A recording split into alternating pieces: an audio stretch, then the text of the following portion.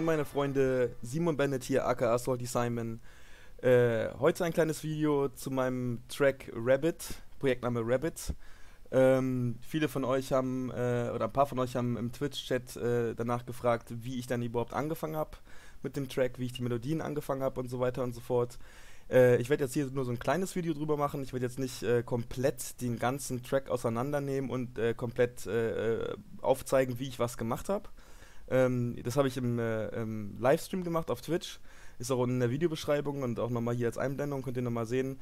Könnt ihr gerne vorbeischauen, wenn ihr Bock habt, äh, wie ich ein bisschen, äh, bisschen Mucke mache. Nicht nur Mucke ist auf dem Twitch-Channel, sondern auch ein bisschen Gaming-Kram, weil es auch äh, zu mir gehört und ich auch ganz äh, gerne mal eine Runde zocke. Also sprich, da werden nicht nur äh, Musiksachen und nicht nur Gaming-Sachen passieren, sondern da wird beides drauf stattfinden. Ähm, auf jeden Fall wollte ich jetzt ganz kurz äh, den Track ein bisschen zeigen, äh, wo gerade der Stand der Dinge ist, beziehungsweise wie ich zu dem Punkt gekommen bin. Und ich werde jetzt hier Stück für Stück die Segmente durchgehen und werde dazu ganz kurz und knapp erstmal erklären, wie ich was gemacht habe, aus welchen Gründen, werde aber nicht zu sehr ins Detail gehen. Und ich würde mal sagen, dass wir jetzt direkt äh, mal reinspringen und äh, direkt das Intro äh, uns äh, anhören. und ja, dann würde ich mal sagen, ab dafür.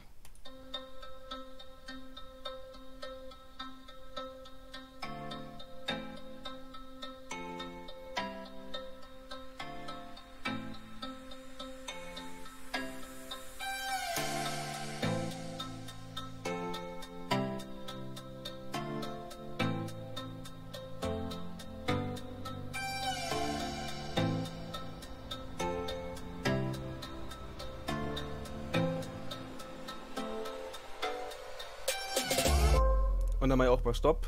Ähm, ganz simpel. Intro ist aufgebaut mit einem Layer, der einfach nur einen Ton vorgibt. Das kann ich mal kurz zeigen. Das ist in dem Fall der Grundton.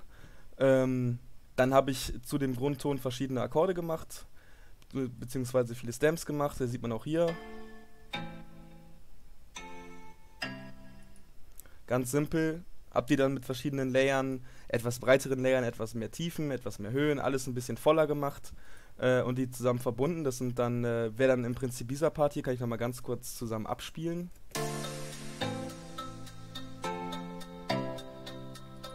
Ne, dass ihr hört, also es geht auf jeden Fall darum, dass man den, dass ich den Sound im Intro erst dezent haben wollte und dass er sich immer mehr aufbaut. Äh, dann habe ich quasi von den Akkorden, die jetzt hier äh, gezeigt, also die jetzt hier äh, zu hören waren, habe ich halt noch eine Abwandlung gemacht, sprich es geht noch ein paar Noten äh, verändern sich. Äh, es wird ein bisschen tiefer, ein bisschen abwechslungsreich, ein bisschen was anderes fürs Gehör. Ähm, und zudem habe ich noch im Intro jetzt hier ähm, einen kleinen Effekt gebaut, sage ich mal, einen kleinen uniken Sound, dass man einen hohen Anschlag hat, so ein bisschen, bisschen was anderes, nochmal ein bisschen mehr Hall. Immer im Abspielen. Ist einfach nur ein Sound, damit es halt noch ein bisschen voller wird. Ähm, wie gesagt, ich werde es jetzt ganz kurz und knapp halten. Hier seht ihr noch äh, verschiedene, verschiedene ähm, Effekte, die ich draufgelegt habe, sprich White Noise, Anschläge, eine Crash, dass alles ein bisschen voller wird. Ich muss dazu auch noch sagen, dass, dass, ähm, ähm, dass das Video jetzt hier, wo, wo ich es gerade aufnehme, ist auf jeden Fall nicht der komplette, äh, der, der, der Track, der am Ende dann so auch released wird. Also ist alles noch Work in Progress. Es ist jetzt sehr weit schon, aber es ist noch nicht noch nicht wirklich durchgemischt. Es ist angemastert, sage ich mal. Es ist noch nicht so das Mastering und vorgemischt, dass man jetzt sagen kann, das ist der fertige Track. Es ist auf jeden Fall ziemlich, ziemlich, ähm, äh, ziemlich fast fertig, wenn man das so sagen kann. Also es geht auf jeden Fall dem Ende zu. Ähm, nur, dass ihr da äh, Bescheid wisst. Ähm, ja, so, dann können wir mal ganz kurz reinschauen. Achso, und wegen den Sounds, die ich gewählt habe, ich wollte irgendwie was locker flockiges, sommermäßiges machen, also sprich leichte Sounds, angenehme Sounds und nicht zu sehr äh, EDM-mäßig, dass das sehr auf die Fresse ist, sage ich mal. Ähm, genau, also da habt ihr auf jeden Fall schon mal ein Empfinden, wie das Intro ist. Dann habe ich hier eine kleine Bridge gebaut, also der so quasi, ich nenne es immer ganz gern Preloop zum, zum, zum Drop-In. Ich weiß gar nicht, ob es genau richtig ist mit dem Preloop, aber ich nenne es immer ganz gerne so. Ähm, Werde ich auch direkt mal reinspringen, dann könnt ihr mal hören. Das ist so die, der Aufbau, wo es dann wirklich zu dem Drop an sich geht. Und das ähm, werde ich mal ganz kurz äh, abspielen und dazu noch mal ein paar Kleinigkeiten sagen, wie ich und warum ich das gemacht habe.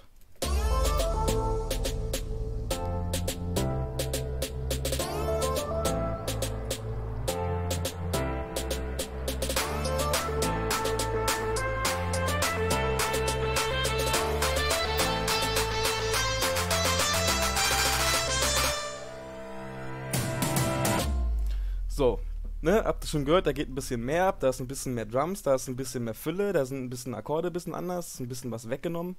Im Prinzip ganz simpel, es sind dieselben Akkorde, die ich auch im Intro benutzt habe, nur länger gezogen, sprich komplette Länge der Akkorde durchgezogen und nicht wie hier so Stems benutzt, also wie in dem Bereich hier Stems benutzt. Ähm, hab hier diesen, ich nenne es mal Initiator-Sound, dieses hohe Gehalle, was ich euch im Intro da ganz kurz gezeigt habe, habe ich hier wiederholt, nur ein bisschen tiefer. Ich werde es nochmal ganz kurz eben anspielen. Ist ein ganz cooler Sound, ist ein bisschen analogiger Sound, würde ich fast sagen. Ähm, und ja, dass einfach ein bisschen mehr Fülle reinkommt. Ähm, ich habe jetzt hier, sind Trompeten, ich will jetzt mal ganz kurz äh, markieren. Dieser Bereich hier, das sind die Trompeten, äh, die auch im Drop dann gleich noch kommen werden. Die habe ich ein äh, bisschen äh, geschnitten, so, somit, dass die nicht komplett wie im Refrain oder im Chorus, wie auch immer, dass die dann komplett vorhanden sind und ein bisschen mit einem Cut-Off gemacht. Sprich, da fehlen hohe Frequenzen.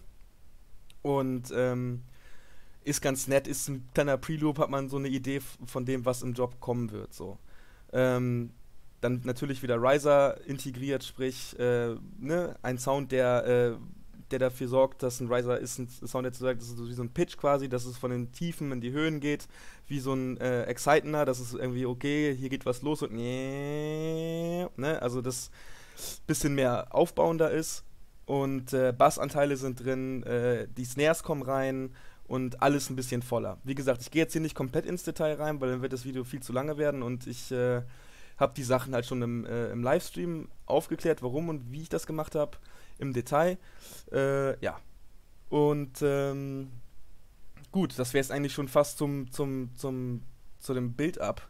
Äh, und jetzt kommen wir zum spannenden Part, zu dem Drop. Da werde ich aber euch ganz kurz nicht von vor, also nicht den Drop an sich zeigen, sondern wir machen das am besten mal mit dem Preloop zusammen, dass ihr hört, äh, wie die Wirkung ist, äh, was im Drop passiert.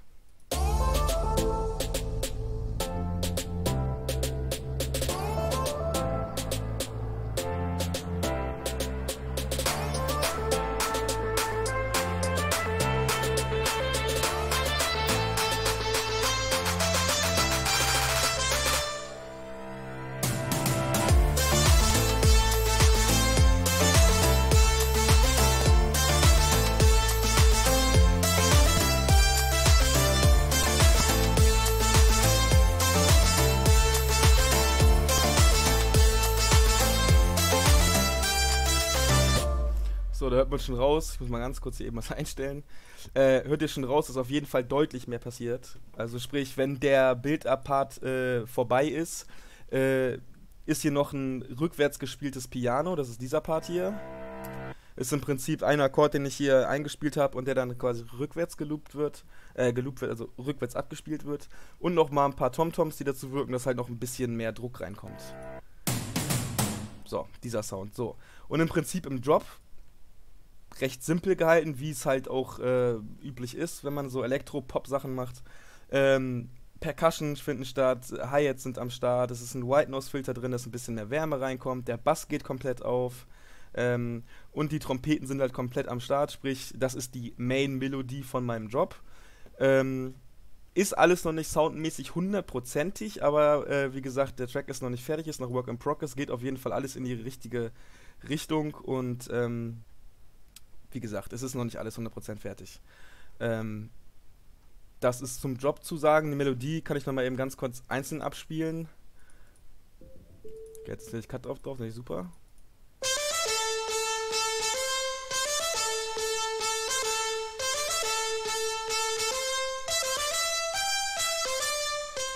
So, recht simpel gehalten, hat auch nicht so lange gedauert, das zu machen. Ich glaube, ich habe vorher zwei, drei Versionen äh, anders gehabt mit der Melodie, aber an sich ist sie okay. Ich habe noch ein paar Layer reingemacht, die ein bisschen anders klingen. Äh, aber wie gesagt, ich wollte jetzt nur einen, Gesa äh, einen, Gesamteindruck geben, wie ich dazu gekommen bin oder wie ich die Sachen mache, damit ich von meinem Stand aus denke, dass es ein runder Track wird oder runder Track ist. Ähm, da habt ihr jetzt auf jeden Fall schon mal gehört, wie Intro, Preloop, Drop ist, wie das sich äh, wo der Aufbau da ist. Wir können das gerne noch mal einmal ganz kurz zusammen anhören. Das werde ich auch noch mal eben ganz kurz hier markieren, dass wir das noch mal bis zu dem Job zusammen anhören. Äh, oder ihr euch zu Hause das zusammen anhören könnt. Äh, und dann ähm, glaube ich, äh, kriegt ihr noch mal ein besseres Gesamtbild von dem, was da genau passiert.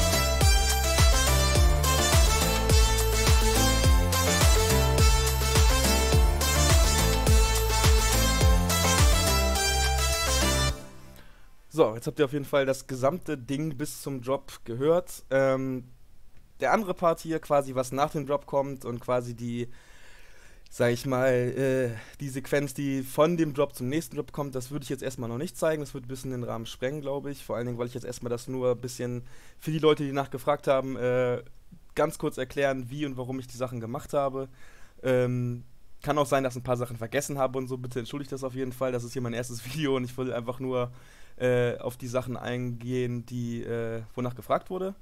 Und ähm, würde mich äh, freuen, wenn ihr äh, bei meinen Livestream mal vorbeischaut. Da werde ich regelmäßig neue Videos machen, beziehungsweise Livestream und äh, neue Tracks anfangen. Äh, wie gesagt, nicht nur Musik wird da, wird da laufen, sondern auch andere Sachen werde ich dort machen.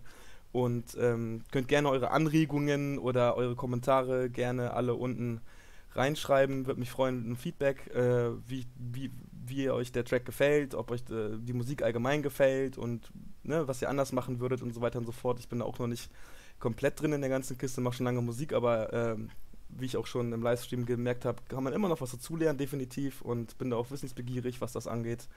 Und äh, in diesem Sinne würde ich sagen, äh, was das für das Video und äh, bis dann.